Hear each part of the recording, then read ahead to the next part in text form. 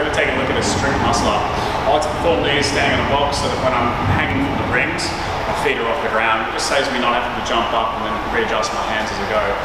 So obviously with the strict muscle up, we want a false grip. So we're trying to get the ring to sit on the wrist, okay, holding this position. I'm going to start with the dead hang, the palms turned out. I'm going to do a nice strong pull and try to get the rings as close to my chest as I can. Once I've got it to this position with the false grip, I'll bring the rings to the side and then I'm going to transition over the top into the bottom of the dip. From there I'm going to press up, complete the dip with the ring turn out at the top. Now if you take the effort to get up there, then work the eccentric, okay? Make sure you're building strength from the eccentric motion. Come to the bottom of my dip, come back down, try and keep the rings in touch with the body, okay? Come back through the transition, then lower back to the bottom position as we go, okay?